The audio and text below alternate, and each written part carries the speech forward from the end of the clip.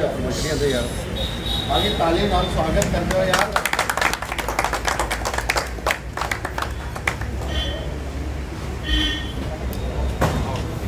चलो जी मुझे ताड़ियाँ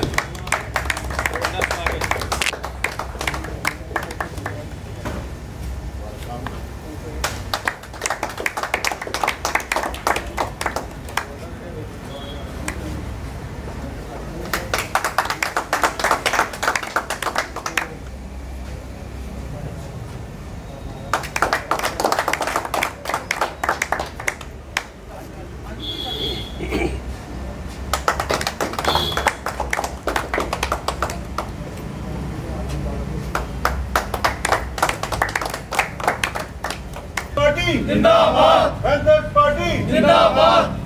पार्टी जिंदाबाद। जिंदाबाद जिंदाबाद। युवाओं की आवाज़ पैंथर्स पार्टी जिंदाबाद।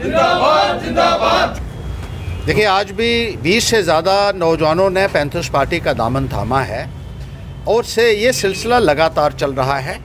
आए दिन पैंथर्स पार्टी में नौजवान शामिल हो रहे हैं विद्यार्थी शामिल हो रहे हैं और पैंथर्स पार्टी को अपने पूरे सहयोग का आश्वासन दे रहे हैं। यहाँ का युवा जो है, वो मौजूदा सरकार से बहुत खफा है।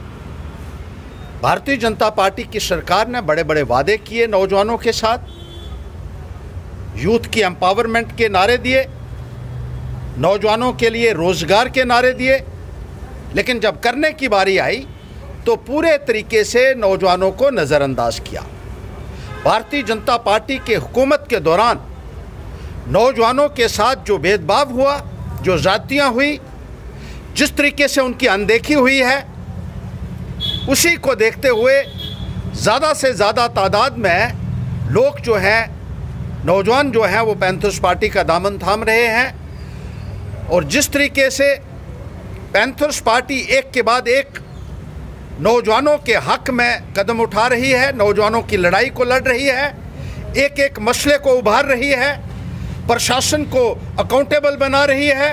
हम इन नौजवानों को यकीन दिलाना चाहते हैं कि इनकी लड़ाई को पाए तकमील तक ले जाएँगे और नौजवानों का हर एक मुद्दा, चाहे वो 4G कनेक्टिविटी का मुद्दा है, चाहे वो डोमिसाइल का मुद्दा है, चाहे वो टोल प्लाजा का मुद्दा है, चाहे वो रोज़गार का मुद्दा है, उन तमाम मुद्दों को पूरी शिद्दत के साथ उभारती रहेगी जब तक जम्मू प्रांत के युवाओं को इंसाफ नहीं मिल जाता जब तक इनको इनका हक नहीं मिल जाता। आज जितने भी युवा यहाँ आए हैं, हम इनका स्वागत करते हैं पैंथर्स पार्टी में और उम्मीद रखते हैं कि पूरी शिद्दत के साथ ये भी पैंथर्स पार्टी को मजबूती देंगे ताकि आने वाले वक्त में नौजवानों को और जम्मू प्रांत को जो है ज़्यादा सशक्त बनाया जा सके।